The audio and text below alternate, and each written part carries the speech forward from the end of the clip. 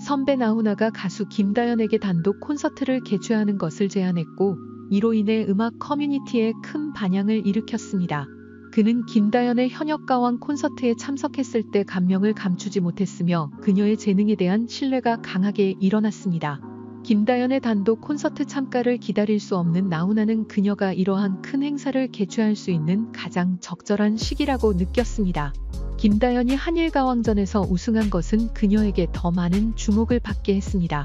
이 칭호를 얻음으로써 그녀는 한국 음악계에서 주목받는 인물 중 하나가 되었으며 국내뿐만 아니라 일본에서도 팬들의 관심을 끌었습니다. 팬들은 김다연의 단독 콘서트에 참석하기 위해 매우 열광하고 돈을 내려고 합니다.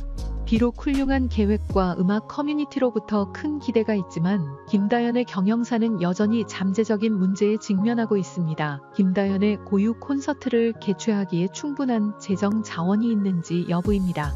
이러한 상황에서 선배 나훈아의 지원이 이전보다 더 중요해졌습니다. 그는 김다연의 경영사가 어려움을 겪을 경우 지원하겠다는 높은 의지를 표명했습니다. 이 격려는 단순히 강력한 힘이 아니라 음악산업 내단결의 정신과 지원의 표시입니다.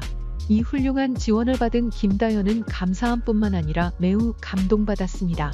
나훈아와 같이 신뢰할 만한 선배로부터 지원을 받는 것은 단순히 경력뿐만 아니라 예술가 커뮤니티 내의 단결에 대한 명백한 증거입니다. 단독 콘서트는 음악적 재능을 표현할 수 있는 기회뿐만 아니라 김다연이 자신을 표현하고 아티스트 이미지를 구축할 수 있는 시간입니다. 선배 나훈아의 강력한 지원과 팬들의 관심은 이 행사를 준비하는데 큰 동기부여가 됩니다.